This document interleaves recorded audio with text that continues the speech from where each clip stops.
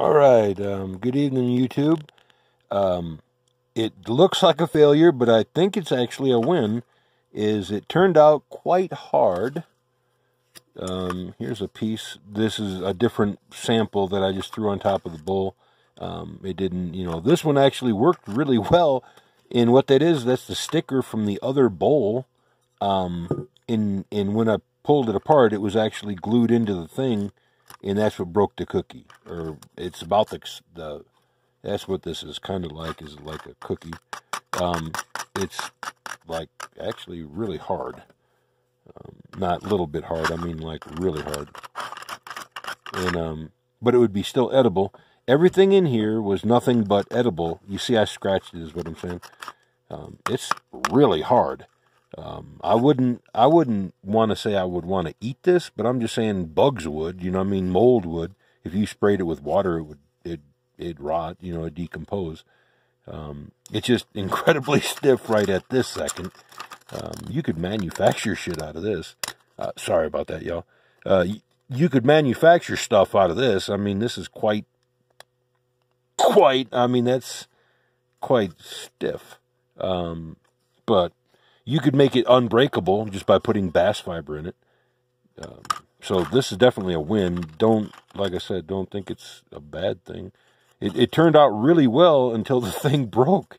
And it, what it was, it was still soft in the middle, or otherwise it wouldn't have broke. It was only it was only hard around the outside, and this the center was still just a tidbit soft. I don't know if I can pull this out. And, uh, not really. No, you can only see where it was soft because it broke. Um, but that was all together. I mean, it, actually it worked. Um, but it was soft right in here um, when I did pull it apart, and that's um, it's since been hard. You know, it since went hard. But I can scratch that with my my fingernail instead of a knife. Um, that other stuff was really tough. I mean, that's that's tough, tough. Um, but when it cooks out, that's what it gets to. And again, that wasn't much. That was hemp seed, and um, it was vinegar, quite a bit of vinegar because I can't get real vinegar out here. You know, like thirty percent vinegar. Um, so and I just cooked it down in pretty much vinegar and um, uh, lime, lime, citric acid. That's what I used. Is um, sorry, I drew a blank. I'm already on the next on the next thing to make this solid. This is easy enough to make stiff and solid, and it would still decompose. I mean, you could like that. You could you could beat something with it, um, and imagine that with bast fiber so it wouldn't crack and come apart. It's almost like stone, um, not real stone. You know what I'm saying? But hard. I don't want to break my dish. Um, okay, guys, is what is uh, first go at this and we'll see what we can come up with a few more. Now, I didn't use any real plasticizers in this, like uh, glycerin or anything like that. We could have made it a lot softer. Um, didn't go that route.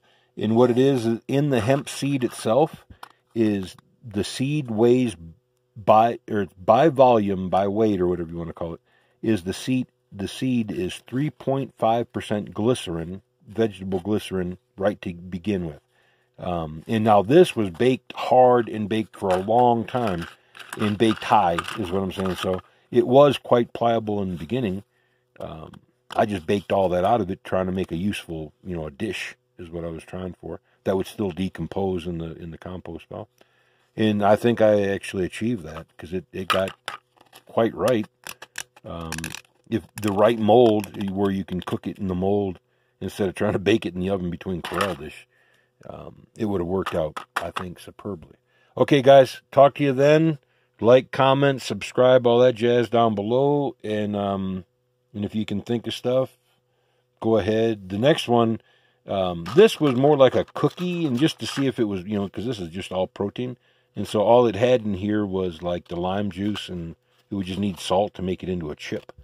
Um, but we're going to go a few more rounds on this um, with different binders and but I think I'm there, uh, to be honest with you, to what I was wanting. Um, but I'm going to do some other stuff too. Okay, talk to you later, guys. All right, peace.